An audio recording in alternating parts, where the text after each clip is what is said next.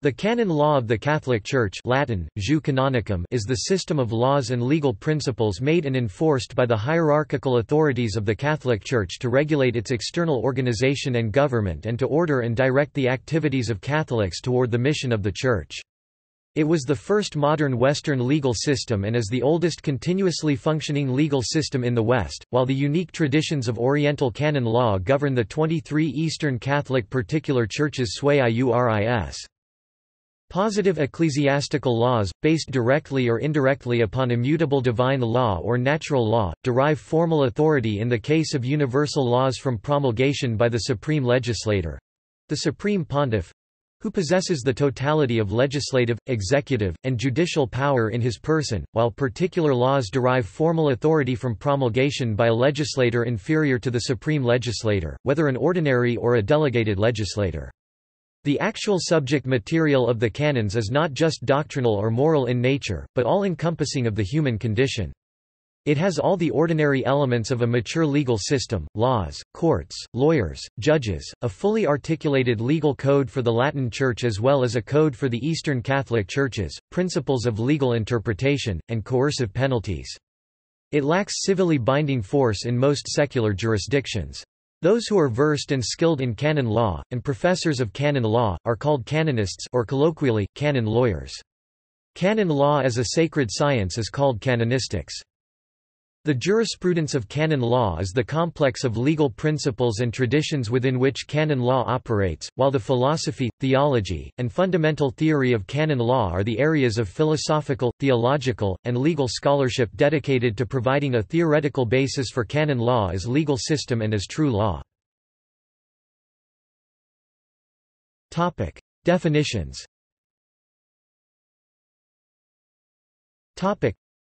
The term Canon law jus canonicum was only regularly used from the 12th century onwards.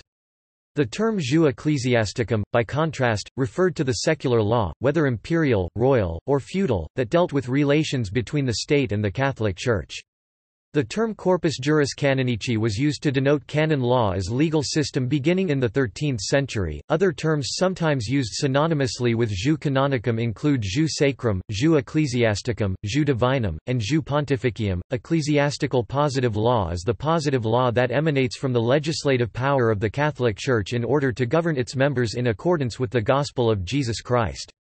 Fernando della Rocca used the term ecclesiastical positive law in contradistinction to civil positive law, in order to differentiate between the human legislators of church and state, all of which issue positive law in the normal sense, examples of ecclesiastical positive law are fasting during the liturgical season of Lent, and religious workers monks, nuns, etc. requiring permission from their superiors to publish a book. Etymology of canon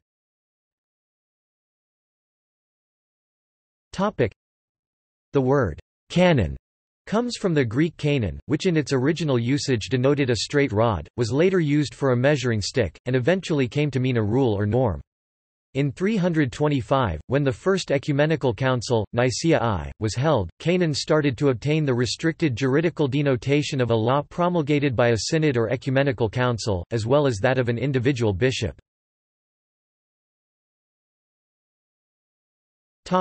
Sources of canon law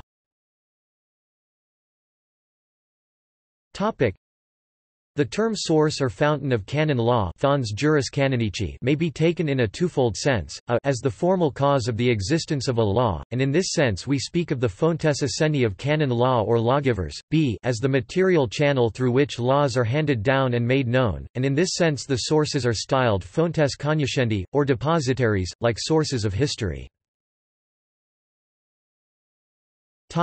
Fontes essendi. The Fontes essendi, Latin, sources of being, include the following legislators. Jesus Christ, whom the Catholic Church believes to be her divine founder, is the original source of divine laws laid down chiefly in the constitution of the Church, and next to him the apostles as lawgivers either of divine or human laws, viz., as inspired or merely human instruments. The Roman pontiff, either alone or in unison with a general council, as endowed with the supreme and ordinary power of enacting laws for the universal church. The bishops for their respective districts, inasmuch as they are empowered to enact laws subordinate to common law, customs, too, must be considered as a source of law, universal as well as particular. Whether the natural law can be called a source of canon law depends on the formal declaration of the supreme authority and through determinations, for the natural law as such its extent is very uncertain cannot be called a homogeneous source of canon law except it has been declared such by the highest authority. Besides its range being very uncertain, the rightfully called natural law is an objective sentiment, or a dictate of reason. Fontes cognoscendi The fontes cognoscendi Latin, sources of knowing, are depositaries in which we find collected the laws enacted in the course of centuries. They may also be considered as the channels through which the river and rivulets of legal enactment flow and are preserved. They do not constitute the law as such, but rather point out where it may be found. Among these sources are Holy Scripture and the decrees of popes and councils, also, in a measure, custom, inasmuch, namely, as it proves the existence and continuity of laws unwritten and perhaps forgotten. Legal history and codification. Topic: The Catholic Church has the oldest continuously functioning legal system in the West, much later than Roman law but predating the evolution of modern European civil law traditions. What began with rules, canons, adopted by the Apostles at the Council of Jerusalem in the 1st century has developed into a highly complex legal system encapsulating not just norms of the New Testament, but some elements of the Hebrew Old Testament, Roman, Visigothic, Saxon, and Celtic legal traditions. As many as 36 collections of canon law are known to have been brought into existence before 1150. The history of Latin canon law can be divided into four periods: the Jus Antiquum, the Jus Novum, the Jus Novissimum, and the Codex Iuris Canonici. In relation to the Code, history can be divided into the jus vetus all law before the Code and the jus novum the law of the Code, or jus codicis, the oriental canon law of the Eastern Catholic Churches, which had developed some different disciplines and practices, underwent its own process of codification, resulting in the Codex Canonum Ecclesiarum Orientalium promulgated in 1990 by Pope John Paul II, St. Raymond of Peñafort (1175–1275), a Spanish Dominican priest, is the patron saint of canonists, due to his important contributions to canon law in codifying the Decretales Gregoriix. Other saintly patrons include Saint Ivo of Chartres and the Jesuit Saint Robert Bellarmine.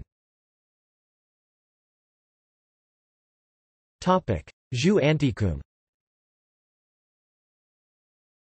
Topic: the period of canonical history known as the Jus ancient law", extends from the foundation of the Church to the time of Gratian mid-12th century. This period can be further divided into three periods, the time of the Apostles to the death of Pope Gelasius I AD 496, the end of the 5th century to the spurious collection of the 9th century, and the last up to the time of Gratian mid-12th century. .In the early Church, the first canons were decreed by bishops united in ecumenical Councils the emperor summoning all of the known world's bishops to attend with at least the acknowledgement of the Bishop of Rome or local councils bishops of a region or territory. Over time, these canons were supplemented with decretals of the bishops of Rome, which were responses to doubts or problems according to the maxim, Roma locuta est, causa finita est. Rome has spoken, the case is closed. A common misconception, the Catholic Encyclopedia links this saying to St. Augustine who actually said something quite different. Jam enim de hac causa duo concilia missa sunt ad sedem apostolicam, ind etiam rescripta venerunt, causa finita est, which roughly translate to, There are two councils, for now this matter is brought to the apostolic see, whence also letters are come to pass, the case was finished. In response to the heretical Pelagianism of the time. In the first millennium of the Roman Church, the canons of various ecumenical and local councils were supplemented with decretals of the popes, these were gathered together into collections. Jus novum. The period of canonical history known as the Jus Novum. New law", or Middle Period covers the time from Gratian to the Council of Trent mid-12th century 16th century. The spurious conciliar canons and papal decrees were gathered together into collections, both unofficial and official. In the year 1000, there was no book that had attempted to summarize the whole body of canon law, to systematize it in whole or in part. The first truly systematic collection was assembled by the Camaldolese monk Gratian in the 11th century, commonly known as the Decretum Gratiani Gratian's decree, but originally called the Concordance of Discordant Canons Concordantia Discordantium Canonum. Before Gratian there was no jurisprudence of canon law system of legal interpretation and principles. Gratian is the founder of canonical jurisprudence, which merits him the title, Father of Canon Law. Gratian also had an enormous influence on the history of natural law in his transmission of the ancient doctrines of natural law to scholasticism. Canon law greatly increased from 1140 to 1234. After that it slowed down, except for the laws of local councils an area of canon law in need of scholarship, and secular laws supplemented. In 1234 Pope Gregory IX promulgated the first official collection of canons, called the Decretalia Gregorii Noni or Liber Extra. This was followed by the Liber Sextus 1298 of Boniface VIII, the Clementines 1317 of Clement V, the Extravagantes Joannis 22 and the Extravagantes Communes, all of which followed the same structure as the Liber Extra. All these collections, with the Decretum Gratiani, are together referred to as the Corpus Juris Canonici. After the completion of the Corpus Juris Canonici, subsequent papal legislation was published in periodic volumes called Bullaria. In the 13th century, the Roman Church began to collect and organize its canon law, which after a millennium of development had become a complex and difficult system of interpretation and cross-referencing. The official collections were the Liber Extra 1234 of Pope Gregory IX, the Liber Sextus 1298 of Boniface VIII and the Clementines 1317, prepared for Clement V but published by John XXII. These were addressed to the universities by papal letters at the beginning of each collection, and these texts became textbooks for aspiring canon lawyers. In 1582 a compilation was made of the Decretum, Extra, the Sext, the Clementines and the Extravagantes that is, the decretals of the popes from Pope John XXII to Pope Sixtus IV. Jus Novissimum The third canonical period, known as the Jus Novissimum newest law", stretches from the Council of Trent to the promulgation of the 1917 Code of Canon Law which took legal effect in 1918. The start of the Jus Novissimum is not universally agreed upon, however. Dr. Edward N. Peters argues that the Jus Novissimum actually started with the Liber Extra of Gregory IX in 1234. Jus Codicis the fourth period of canonical history is that of the present day, initiated by the promulgation of the 1917 Code of Canon Law on 27 May 1917. Benedict XV, in his bull of promulgation, refers to the motu proprio arduum sane, which was issued by Pius X, March 17, 1904, and gave rise to the 1917 Code. In that memorable pronouncement the late pontiff stated the reasons which prompted him as the supreme pastor of souls, who has the care of all the churches, to provide for a new codification of ecclesiastic laws, with a view to put together with order and clearness all the laws of the Church thus far issued, removing all those that would be recognized as abrogated or obsolete, adapting others to the necessities of the times, and enacting new ones in conformity with the present needs. It is sometimes referred to as the jus codicis law of the code, or, in comparison with all law before it, the jus novum new law.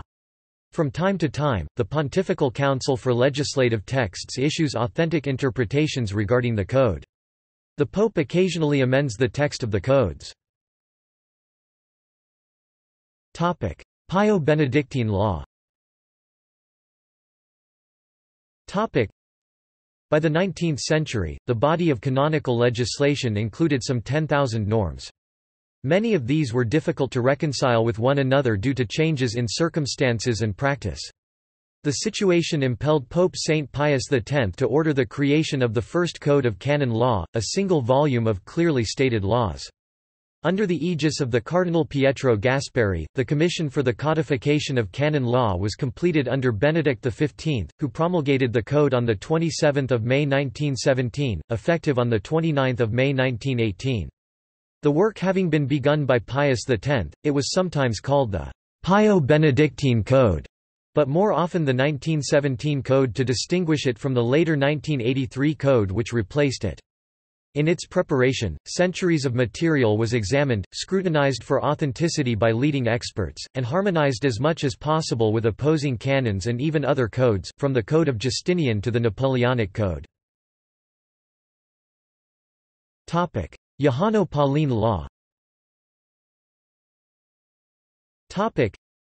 in the succeeding decades, some parts of the 1917 Code were retouched, especially under Pope Pius XII.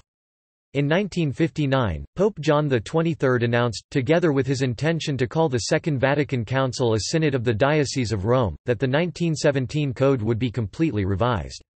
In 1963, the commission appointed to undertake the task decided to delay the project until the council had been concluded. After the Second Ecumenical Council of the Vatican, Vatican II closed in 1965, it became apparent that the code would need to be revised in light of the documents and theology of Vatican II. When work finally began, almost two decades of study and discussion on drafts of the various sections were needed before Pope John Paul II could promulgate the revised edition, which came into force on 27 November 1983, having been promulgated via the Apostolic Constitution Sacrae Disciplinae Leges of 25 January 1983. Containing 1752 canons, it is the law currently binding on the Latin Church. This edition is referred to as the 1983 Code of Canon Law to distinguish it from the 1917 Code. Like the preceding edition, it applies to Roman Catholics of the Latin Church. Oriental Canon Law Oriental Canon Law is the law of the 23 Catholic sui juris particular churches of the Eastern Catholic tradition. Oriental canon law includes both the common tradition among all Eastern Catholic churches, now chiefly contained in the Code of Canons of the Eastern Churches, as well as to the particular law proper to each individual sui juris particular Eastern Catholic Church. Originating with the canons of particular councils and the writings of the Eastern Church Fathers, Oriental canon law developed in concert with Byzantine Roman laws, leading to the compilation of nomocanons. Oriental canon law is distinguished from Latin canon law, which developed along a separate line in the remnants of the Western Roman Empire under the direct influence of the Roman pontiff, and is now chiefly codified in the 1983 Code of Canon Law. Nomocanons a nomocanon is a collection of ecclesiastical law, consisting of the elements from both the civil law and the canon law. Collections of this kind were found only in Eastern law. The Greek Church has two principal nomocanonical collections, the Nomocanon of John Scholasticus of the 6th century and the Nomocanon in 14 titles, which dates from the reign of the Byzantine Emperor Heraclius r. 610–641, made by fusion of the Collectio Tripartita collection of Justinian's imperial law and canonic syntagma ecclesiastical canons. The latter was long held in esteem and passed into the Russian Church, but it was by degrees supplanted by the Nomocanon of Photios in 883. Photius compiled systematically the canons of the East and amounts to a counterpart of Gratian in the West. His two-part collection, a chronological collection of synodal canons and his nomocanon revision with updated civil laws became a classical source of ancient canon law for the Greek Church. Code of Canons of the Eastern Churches for Eastern Catholics two sections of Oriental canon law had already, under Pope Pius XII, been put in the form of short canons. These parts were revised as part of the application of Pope John XXIII's decision to carry out a general revision of the Church's canon law. As a result, a distinct code for members of the Eastern Catholic Churches came into effect for the first time on 1 October 1991 Apostolic Constitution Sacri Canones of 18 October 1990. The Code of Canons of the Eastern Churches, as it is called, differs from the Latin 1983 Code of Canon Law in matters where Eastern and Latin traditions diverge, such as terminology, discipline concerning hierarchical offices and administration of the sacraments. Jurisprudence of canon law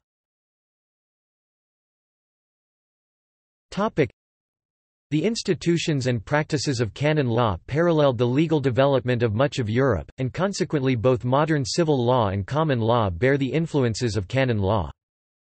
F. From the days of Ethelbert onwards say, from the year 600, English law was under the influence of so much of Roman law as had worked itself into the traditions of the Catholic Church. Much of the legislative style was adapted from that of Roman law especially the Justinianic corpus juris civilis. After the fall of the Roman Empire and up until the revival of Roman law in the 11th century canon law served as the most important unifying force among the local systems in the civil law tradition. The Catholic Church developed the inquisitorial system in the Middle Ages. The canonists introduced into post-Roman Europe the concept of a higher law of ultimate justice, over and above the momentary law of the state. In one of his elaborate orations in the United States Senate Mr. Charles Sumner spoke of the generous presumption of the common law in favor of the innocence of an accused person, yet it must be admitted that such a presumption cannot be found in Anglo-Saxon law, where sometimes the presumption seems to have been the other way and in a very recent case in the Supreme Court of the United States, the case of Coffin, 156 U.S. 432, it is pointed out that this presumption was fully established in the Roman law, and was preserved in the canon law. The primary canonical sources of law are the 1983 Code of Canon Law, the Code of Canons of the Eastern Churches, and Pastor Bonus. Other sources include apostolic constitutions, motibus propriis, particular law, and with the approbation of the competent legislator custom. A law must be promulgated for it to have legal effect. A later and contrary law abrogates an earlier law. Canonists have formulated interpretive rules of law for the magisterial non-legislatorial interpretation of canonical laws. An authentic interpretation is an official interpretation of a statute issued by the statute's legislator, and has the force of law. Topic: Philosophy, theology, and fundamental theory of canon law. Topic: Although canonical jurisprudential theory generally follows the principles of Aristotelian Thomistic legal philosophy, Thomas Aquinas never explicitly discusses the place of canon law in his treatise on law however, Aquinas himself was influenced by canon law. While many canonists apply the Thomistic definition of law lex to canon law without objection, some authors dispute the applicability of the Thomistic definition to canon law, arguing that its application would impoverish ecclesiology and corrupt the very supernatural end of canon law. In the decades following the Second Vatican Council, many canonists called for a more theological, rather than philosophical, conception of canon law, acknowledging the triple relationship between theology, philosophy, and canon law. Some authors conceive of canon law as essentially theological and the discipline of canon law as a theological subdiscipline, but Monsignor.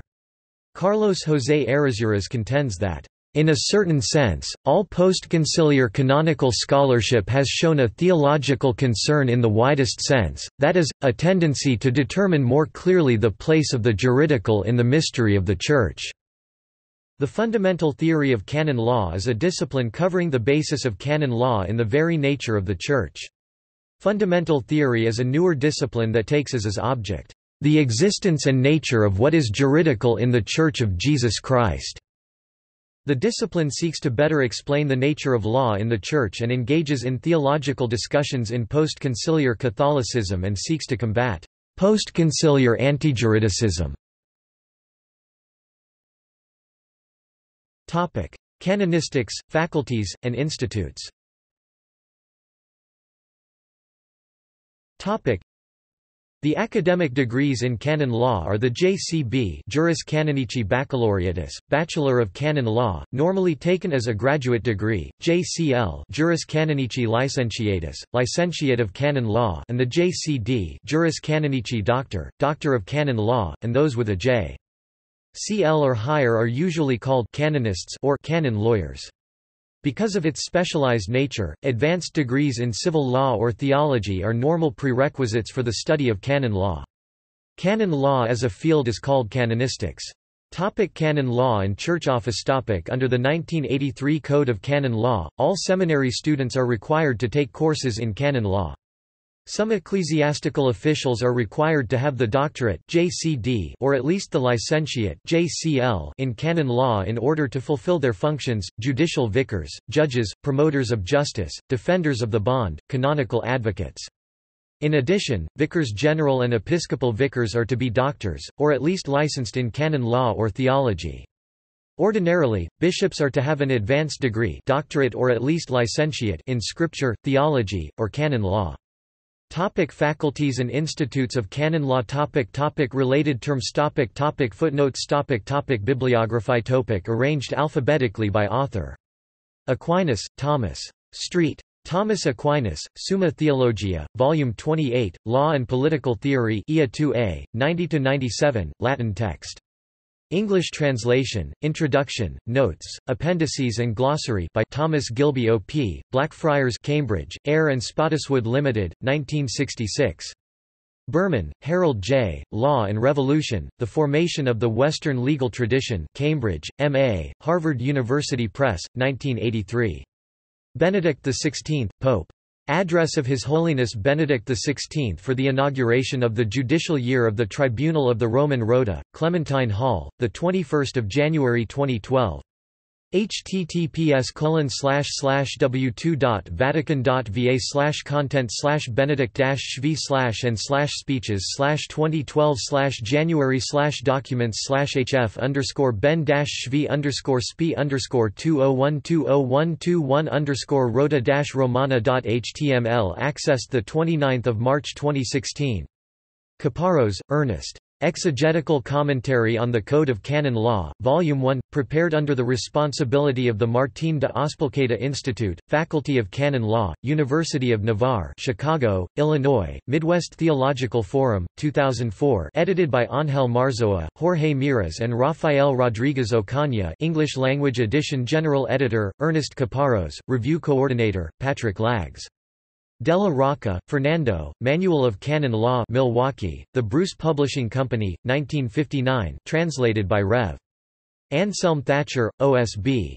De Meester, A., DJC, Juris Canonici et Juris Canonico Civilis Compendium, Nova Editio ad normam codicis Juris Canonici Tomus Primus Bruges, Societatis Sancti Augustini, 1921. Errázuriz M., Carlos José. Justice in the Church, A Fundamental Theory of Canon Law Montreal, Wilson and Lafleurte, 2009 trans. Jean Gray in collaboration with Michael Dunnigan. Friedman, Lawrence M. American Law, An Introduction New York, W. W. Norton and Company, 1984. Glendon, Mary Ann, Michael Wallace Gordon, Christopher Osakwe, Comparative Legal Traditions, Text, Materials and Cases American Casebook Series Street. Paul, M. N., West Publishing Co., 1985. Howe, William Wirt, Studies in the Civil Law, and its Relation to the Law of England and America, Boston, Little, Brown, and Company, 1896. Jordan, William Chester. The Penguin History of Europe, Europe in the High Middle Ages London, Penguin Books, 2002.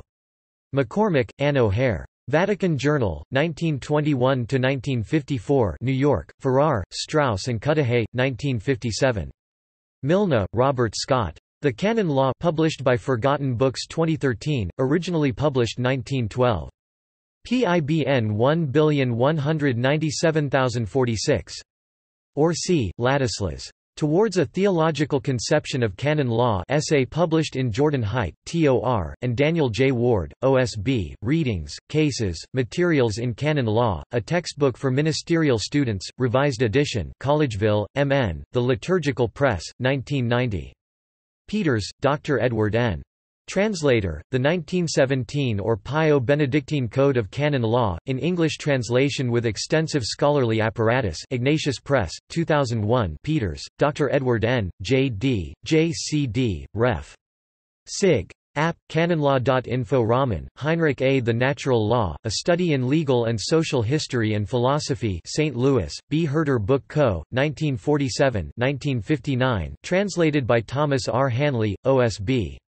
Suzzallo, Henry, Ph.D., Sc., D., LL.D., Editor-in-Chief, The National Encyclopedia, Volume 2 New York, P. F. Collier & Son Corporation, 1935. Taylor, Justin 1990. Canon Law in the Age of the Fathers. In Hite, Jordan, Ward, Daniel J. Readings, Cases, Materials in Canon Law, a textbook for ministerial students revised ed. Collegeville, M.N., Liturgical Press. ISBN 9780814610817.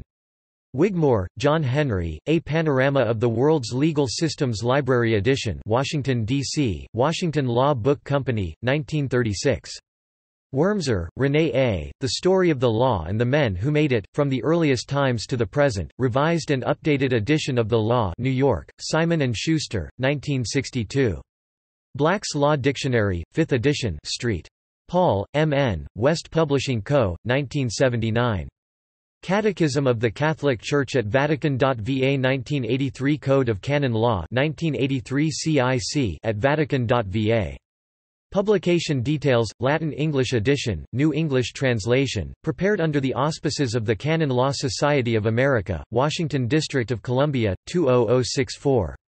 Topic notes. Topic topic. External links. Topic. Sacrae Disciplinae Leges. Document establishing the 1983 Code of Canon Law. Norms of current canon law, table of canonical norms which are currently in force. Canon Law Wiki. Notes, commentary, discussion, papers and bibliography on canon law. Topic. Texts and translations of codes of canon law. Topic. With referenced concordances. Codex Iuris Canonici. 1983 in Latin. Code of Canon Law. 1983 translation by Canon Law Society of America, via Vatican.va. Includes 1998 modification of Canons 750 and 1371. Code of Canon Law 1983 translation by the Canon Law Society of Great Britain and Ireland, assisted by the Canon Law Society of Australia and New Zealand and the Canadian Canon Law Society Codex Canonum Ecclesiarum Orientalium 1990 in Latin Code of Canons of Oriental Churches, 1990, translation by Canon Law Society of America. Codex Iuris Canonici 1917 in Latin, abrogated by 1983 Code of Canon Law without concordances. Code de 1917 in French, abrogated by 1983 Code of Canon Law.